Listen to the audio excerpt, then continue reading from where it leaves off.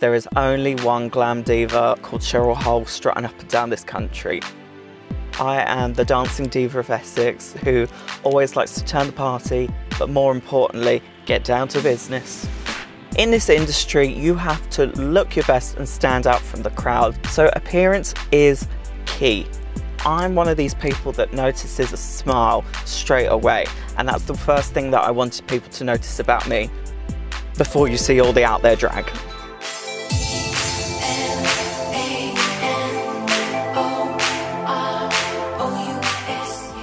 Instagram is the one thing that you can scroll through and find people straight away. There was one person at Bespoke Smile that spoke to me.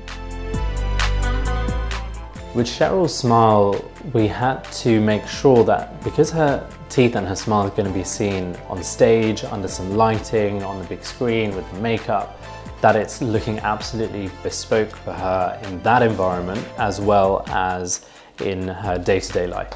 And that is something that requires a lot of detail and a lot of uh, time and energy to make it look perfect. These are the copy of my design. Oh, it looks so glam. So this is going in my mouth today. I cannot wait. Ready? I'm ready. A glam bespoke smile. Sam, you don't know how happy you have made me. Perfect. I am truly speechless, and that doesn't happen often. The work that Sam has just created is godlike.